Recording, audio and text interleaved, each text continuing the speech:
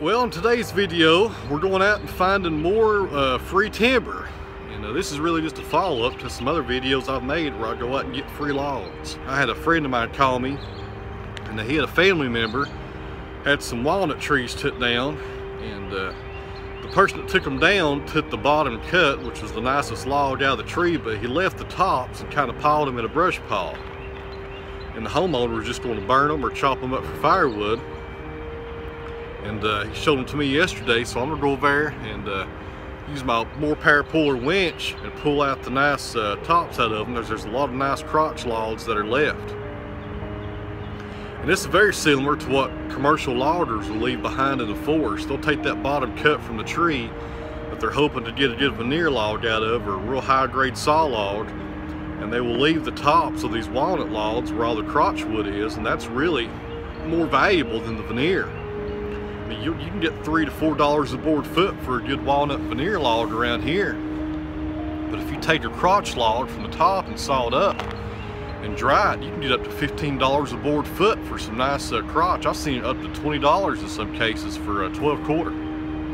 So that's what we're doing today. Just another uh, example of how I go out and get logs for free. And these have already been cut, so all the hard work's been done. I'm hoping just to ease the trailer under the brush pile and pull them right off. And another thing here, I've started making t-shirts here for the YouTube channel. This is the front of it here. OTW, which is for Out of the Woods. My niece designed these for me. Got two axes on there and a log and two little trees. And uh, these are some dry fit uh, polyester shirts, pretty inexpensive. And on the back of them, pretty much just putting some trees and the name of it, of the company here. I just had these made for advertising purposes, but if there's any interest there in, in uh, buying them, if you'd like to have one, it'd definitely support the channel and I sure would appreciate it. Just leave me a comment below if there's an interest there and we'll start offering those for sale. Uh, I'll put up a website or something. But anyways, I also got this Patreon page going. I'll put the link up here over here. I can't figure out this YouTube card system, how to put stuff on here. Need to do some more research on that.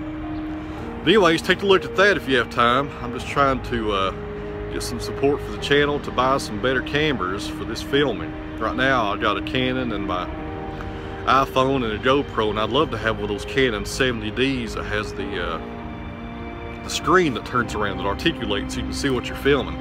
It's pretty difficult sometimes to film and not see what's going on. But anyways, if you've got time, take a look at those and hit the like button on this video as well. I got the trailer backed in here and uh, I think there's going to be three decent logs in here to pull out this pile. As you can see that's the first one there. It's a decent diameter on it. Kind of crooks out there to the left and it's got a little crotch right there where it goes out. I can climb in here without falling over. As you can see they left this one behind. There's a lot of good wood left in it. There's a shorter log on top of it, about 10 feet long, not a real big one. And uh, here's a actual a butt cut they left. This is probably, this is the biggest one out of the three. You can see it's got a little damage there. Still about a, about a 10 footer. And I checked the base of it yesterday. It's solid at the bottom. And here's the top of it. As you can see, there's a little bit of, a, there's some bad places in it. It's got a double heart right there. Now if that double, what I mean by that, there's two pits right here, one and two. And I don't know if that runs the full length of the log or not. If it does, we'll have some awesome figure in every board. But I'll, I'll check the bottom and see.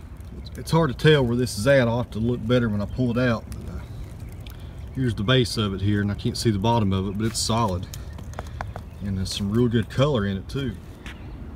Here's my setup. I got the dovetail on the trailer backed up right with the brush. The brush is about three or four foot up in the air. That's what the timber's laying on top of, so I'm hoping I can use my winch and pull them right off that brush and get them right on the edge of the trailer here and winch them right up. We'll get those three first. Then after that, see what's under, see if there's anything else left that's not limbs. That's the main focus is those three right there. So show you guys something here that's a complete waste in my opinion.